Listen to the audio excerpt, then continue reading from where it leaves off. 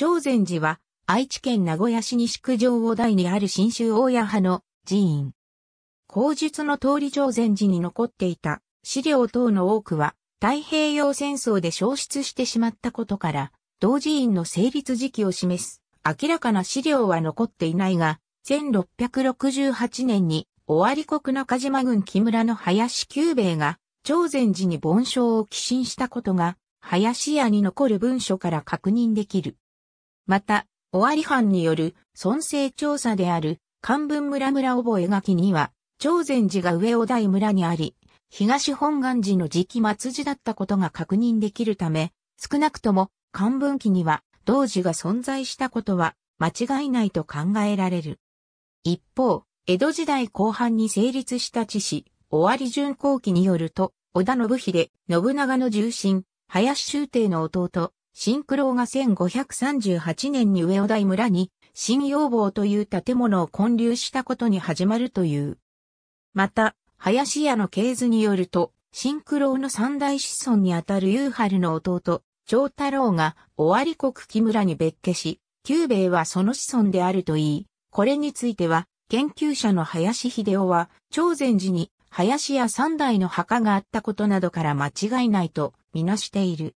上、お代の寺院としては、長禅寺に加えて方言寺がある。新州の檀家では大きな行事として法音校があり、長禅寺では毎年11月に本子様という故障で行っている。西春日井軍師によれば、地域に残る区伝として、長禅寺はかつて平村にあり、笹成政の菩提寺であったが、洪水の影響で現在地に移築したという。高田太郎庵の墓石境内に高田太郎庵の墓がある。高田太郎庵は1683年生まれ、1763年没。天那年間に活躍した茶道の達人として知られる。通称は、藪下屋太平と称し、名は英治。呉服商であった。茶事を好み、教えを受ける者が極めて多かった。